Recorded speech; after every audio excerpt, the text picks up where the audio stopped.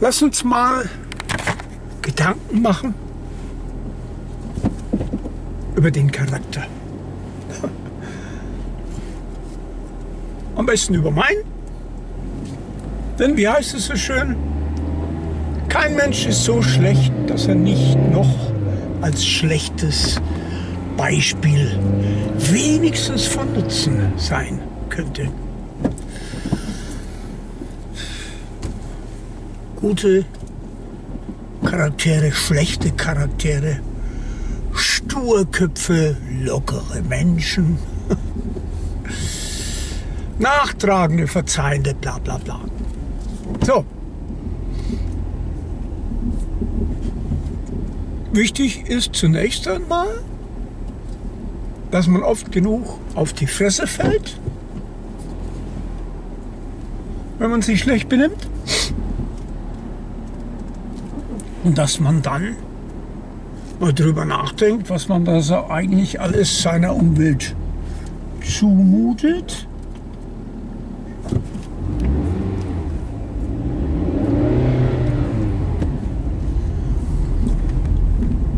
Und dann kann man sich Schritt für Schritt ändern. Man muss nur nicht glauben, dass das von heute auf morgen ging. Eigentlich müsste das ja von heute auf morgen gehen. Ja? Denn äh, ich mische mich unter die Menschen, erinnere mich vielleicht vorher kurz dran, dass ich mir eigentlich vorgenommen habe, zum ersten Mal in meinem Leben nicht rüberzukommen. Und was ist? Es gelingt mir super, weil mein Verstand sagt mir ja, du willst es, einen scheißen Trick. Von wegen, es gelingt mir super. Wenn mir der erste blöd kommt, komme ich blöd zurück, fertig in der Äpfel.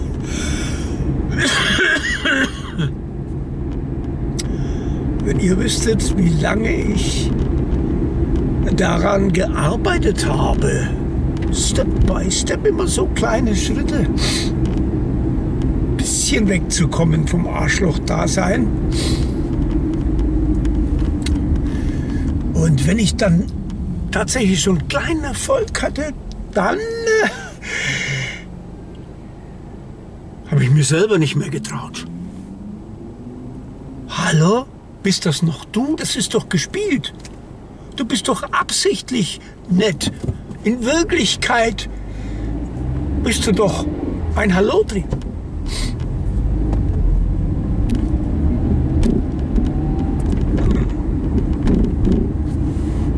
Ich musste über 70 Jahre werden, um mir mal Gedanken darüber zu machen, warum ist das denn alles so? Und als ich das vor vielleicht sechs Monaten einem Freund beim Tischtennisspielen erzählt habe, hat er gesagt, Kahnemann. Sage ich, wie jetzt Kahnemann? Ja, du kennst Kahnemann nicht, du interessierst dich doch für die Philosophen. Das ist doch der beste von ihnen.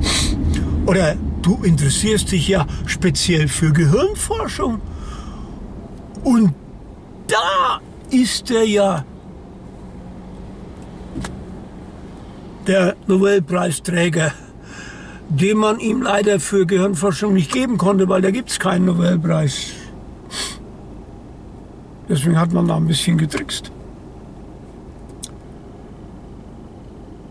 Ich, siehst du, genau deswegen wahrscheinlich ist mir der noch nicht über den Weg oder übers Internet gelaufen, weil da immer steht Nobelpreisträger für Wirtschafts- oder Ökonomie oder äh, genau das, wo ich immer gleich weg damit, weg damit, weg damit.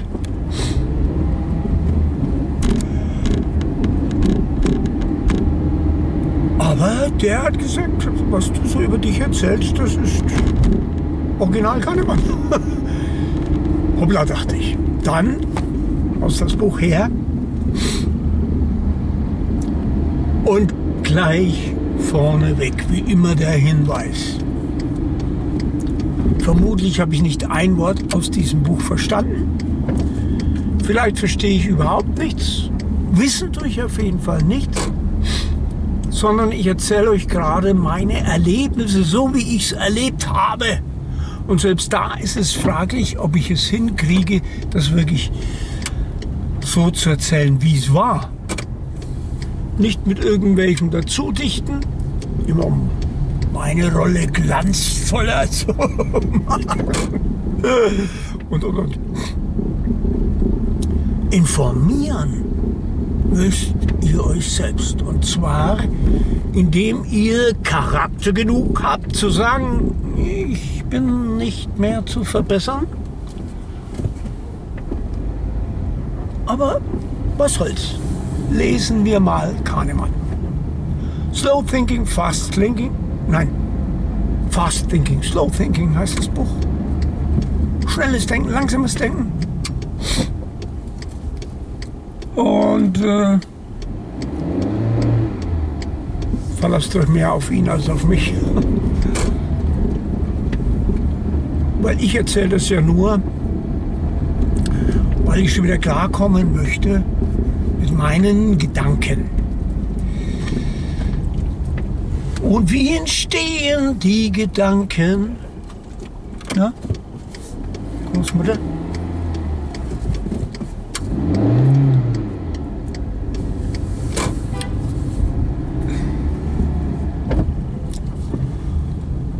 Ja, das ist eine gute Frage. Wie entstehen sie? Dazu kann man lesen.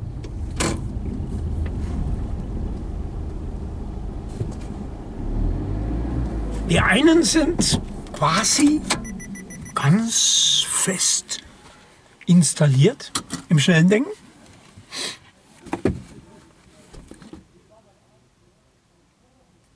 Und damit wir nicht ganz vergessen, dass wir über den Charakter reden wollten. Der Charakter ist scheinbar erst einmal dort zu Hause. Zu einer Zeit, als wir noch gar nicht über Charakter nachdenken konnten, weil wir noch gar nicht wussten, was das ist. Haben uns die Gene schon einen Charakter mitgegeben. Die Eltern haben versucht, uns so zu erziehen, dass ein guter Charakter daraus wird. Und ich bin ja so ein Verfechter dieser Zwei-Faktoren-Theorie. Alles, was den Menschen ausmacht, entsteht im Zusammenspiel der beiden Faktoren. Faktor 1 vererbt, Faktor 2 Umwelterfahrungen, alles mit drin, Erziehung, Sozialisation und, und, und. Die zwei machen das mit sich aus.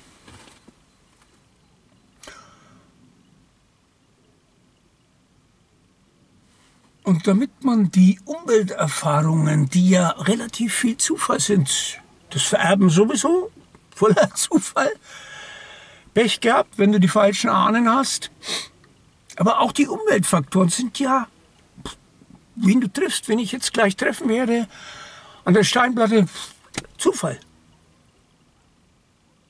Vielleicht sind es ein, zwei der liebenswerten Menschen, die ich hier kennengelernt habe.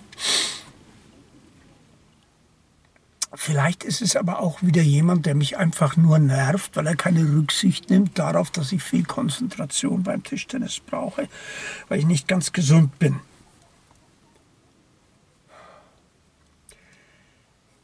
Ja, wie auch immer.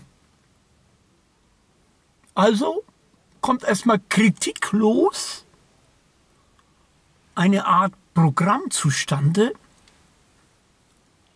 im System 1 nach Kahnemann und System 2 versucht dann darüber nachzudenken. Was ist eigentlich los mit dir? Wie tickst du denn? Warum musst du immer auf Oberlehrer machen? Auf Rechthaber, auf Besserwisser? Nein, bin ich gar nicht. War ich aber schon mal. Und so ganz kriege ich es nicht raus, weil nämlich, hallo hier, das schnelle Denken ist immer als erstes da und reißt immer die große Klappe auf. Bis dann der etwas bescheidenere aus der anderen Seite kommt, aus dem langsamen Denken. Und deswegen Schlusswort. Im schnellen Denken ist viel, worüber ihr selber noch gar nie nachgedacht habt. Viel Schrott von den anderen.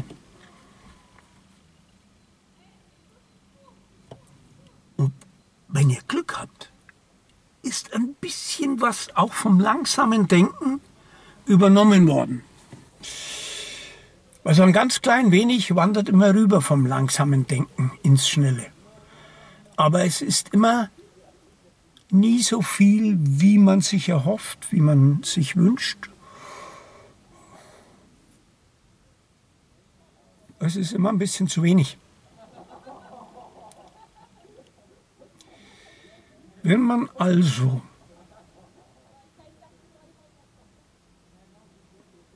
sich ausdenkt, wie man sein möchte,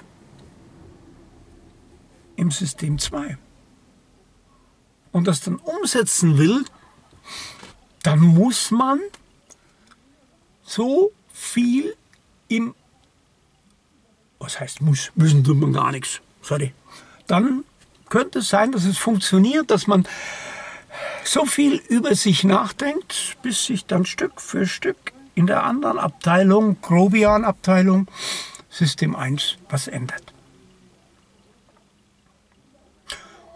Und da kann ich euch etwas sagen, von dem ich weiß, dass es bei mir funktioniert hat. Ich habe nämlich, seitdem ich dieses Buch gelesen habe, angefangen, autogenes Training zu machen. Und im autogenen Training jene Menschen mit ein,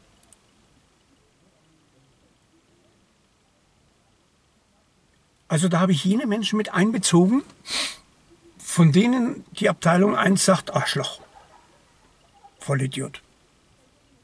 Ich mag ihn nicht.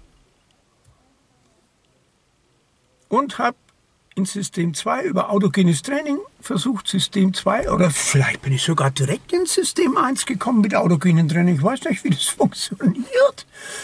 Ja, könnte sein, dass man da direkt reinkommt. Ich glaube fast. Weil mm, in System 2 weiß ich ja, das ist auch nur eine arme Sau. Der hat auch nur sein Bäckchen zu tragen. Der kommt vielleicht auch nicht mit sich klar, so wie ich nicht mit mir klarkomme.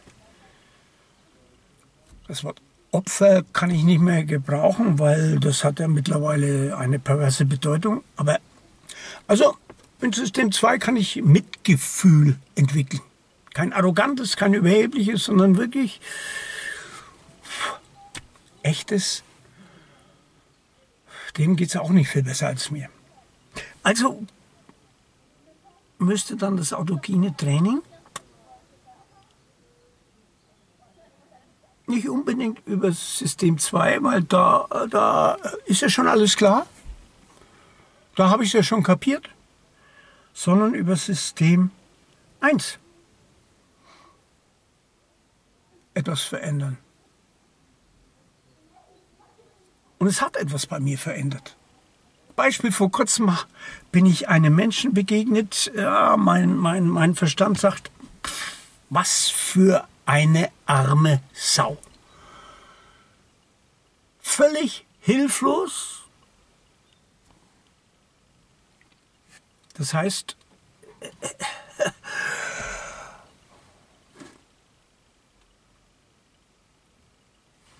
ihr kennt das, mein neues Wort für